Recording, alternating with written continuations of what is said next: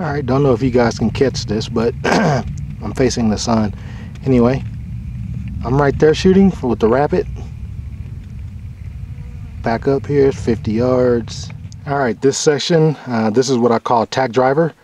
These, it's a paper plate, spray painted black with white thumbtacks. Those thumbtacks are about 5 16 3 8 inch diameter piece. I'm gonna see if I can hit them six for six, 50 yards.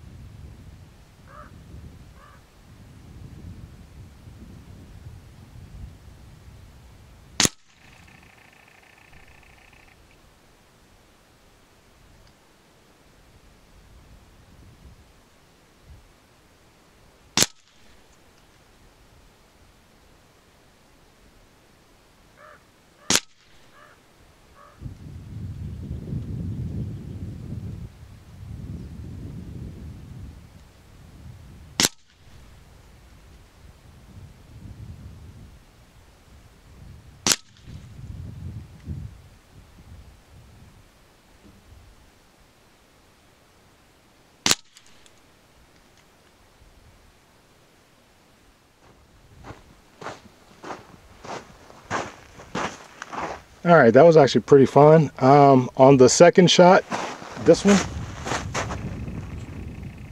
I think that's the one I, no, I hit this one, this one. I shot just to the left because I overestimated the wind blowing.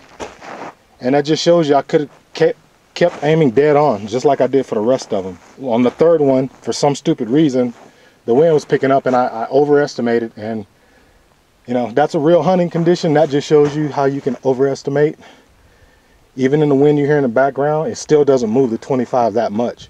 So when I moved to the left, the pellet hit exactly where I aimed. So that's the reason why I missed.